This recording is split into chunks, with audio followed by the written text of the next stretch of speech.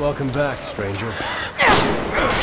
Looks like we're finally making it out of here. I need some help here! Come on, let's keep moving.